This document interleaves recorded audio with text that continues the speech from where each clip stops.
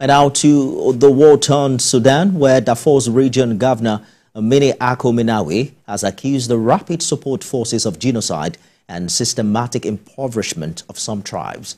He says he received complaints that the RSF element stole about 600 vehicles from a single tribe in the city of Nyala, southern Darfur.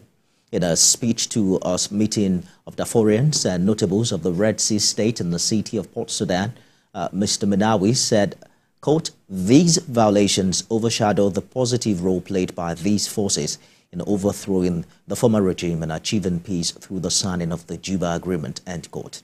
He noted that the number of displaced people in Darfur was 3 million, which doubled after the war broke out between the RSF and the army due to the killing and forced displacement witnessed in most cities and states of the region. The Darfur governor noted that all precious uh, previous peace agreements have not achieved any progress because they were negotiated outside the country.